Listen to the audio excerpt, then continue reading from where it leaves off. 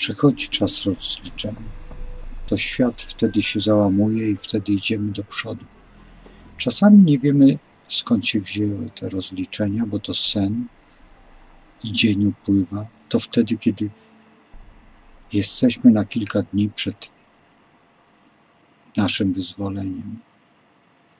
Wyzwolenie to, kiedy nastąpiło, kiedy żeśmy się urodzili.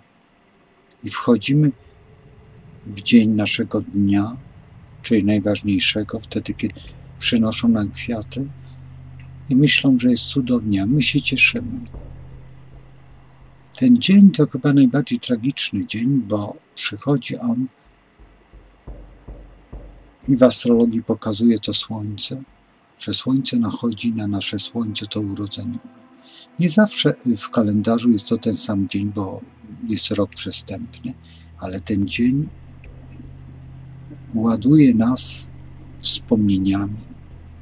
Jesteśmy wtedy najwięksi w swoich marzeniach i jednocześnie w lękach i chcemy zdobyć to, co byśmy chcieli. Dlatego też zawsze proponuję jedną rzecz.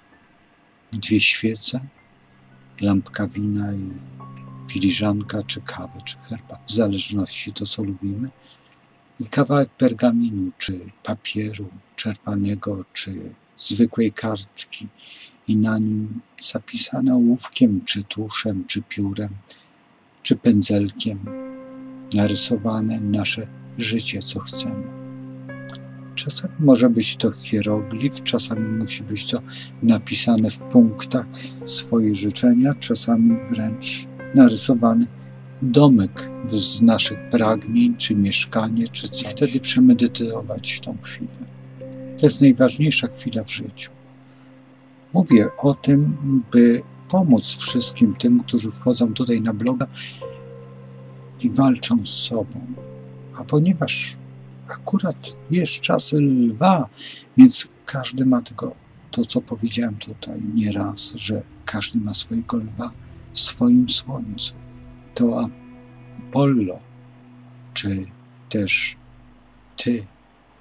I musisz wiedzieć o tym, że jesteś w tym dniu bardzo silny. Powtarzam się i będę powtarzał to bez końca, żebyś wiedział o tym, żeby nie stracić tej chwili. Żebyś mógł pokonać sam siebie, a najbardziej pamiętaj o tym, żeby nie chcieć słonia w karawce czy gwiazdki z nieba, tylko poprosić coś, co jest rzetelne dla ciebie, a najbardziej o wiele.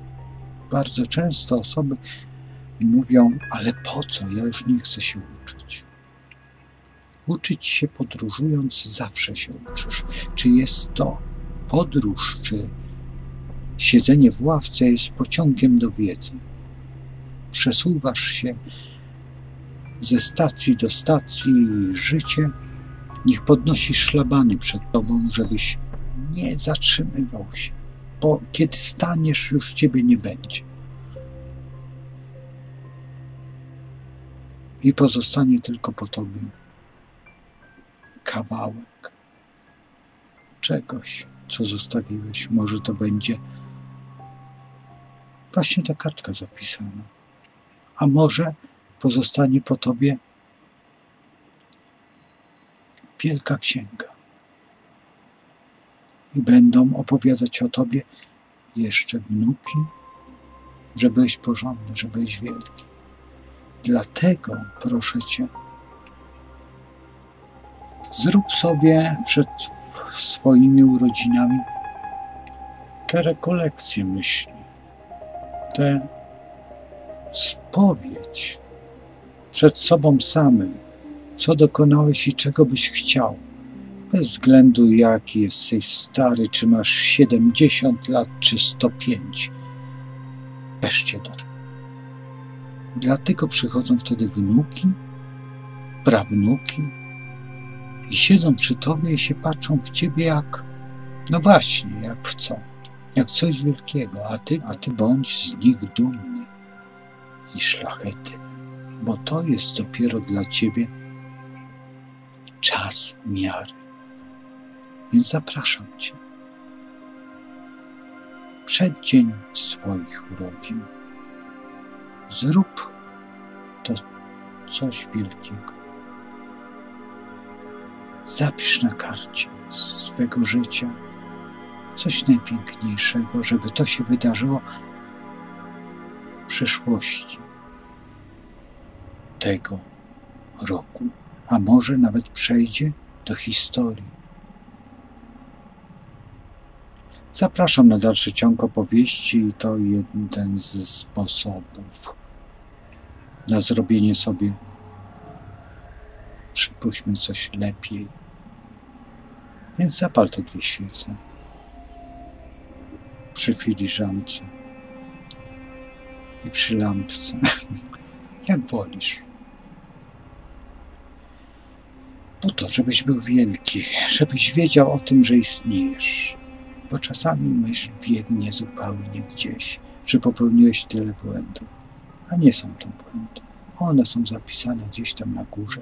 Gorzej, jak popełniłeś i jesteś tylko już wiesz. To wtedy one rozliczą cię też. Czy lepiej, czy gorzej? Nie do mnie należą wyroki. Czy można je odczytać w gwiazdach? Tego nie wiem. Bo wyroki są w pokoleniach, w historii. Po to stworzono chociażby fizykę i historię, by umieć stworzyć siebie. I po to też jeszcze istniały inne sposoby. Spojrzeć w górę i pokłonić się temu, co to tyle. Zapraszam na dalszy ciąg opowieści o astrologii, a to taki przerw. Dziękuję. To, to chyba tylko dlatego, że czasami trzeba przemyśleć to, co się zrobiło. I bycie lwem nie jest proste.